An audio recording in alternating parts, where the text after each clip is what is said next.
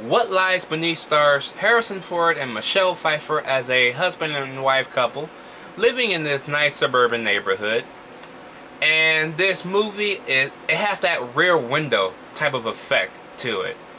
Because Michelle Pfeiffer believes her next door neighbor has murdered his wife, okay? And probably dumped the body somewhere. So she goes in this weird uh, chain of events to try and find out if this is true or not. But there's another catch.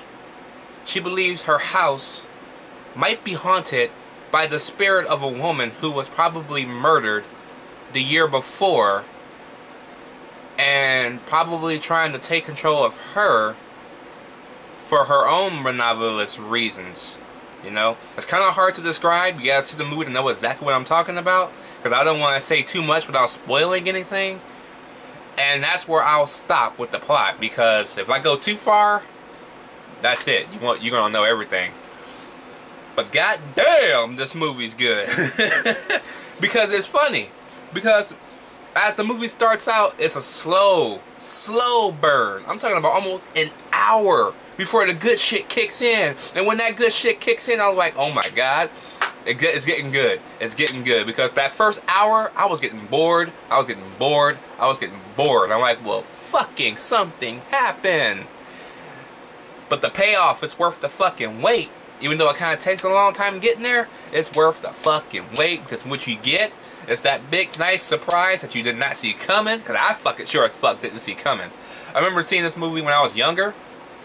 Never finished it. Because it was so fucking boring. I'm like, okay, there's nothing going on here.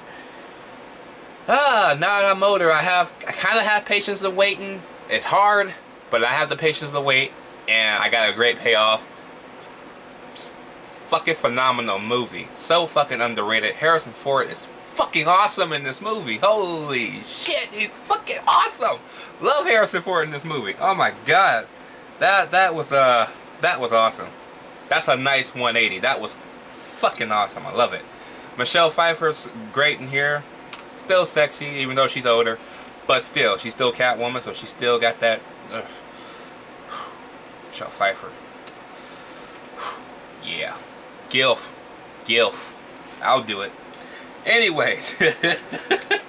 Anyways. I love the surprises in this movie. Acting is great all around. Really, really worth that hour. That hour is slow.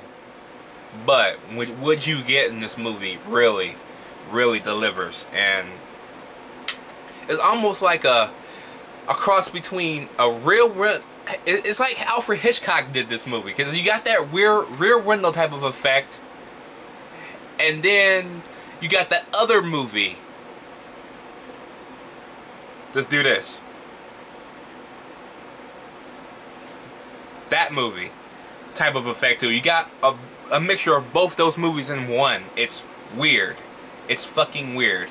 If you don't know what that what this is, it got remade with Michael Douglas and Gwyneth Paltrow. There you go. That's the movie I'm talking about. But anyways, I will give What Lies Beneath an A minus. Totally, totally worth that wait. Let me know what you guys think about What Lies Beneath down below. Did you like it? Did you hate it? I shall catch you guys in the next one.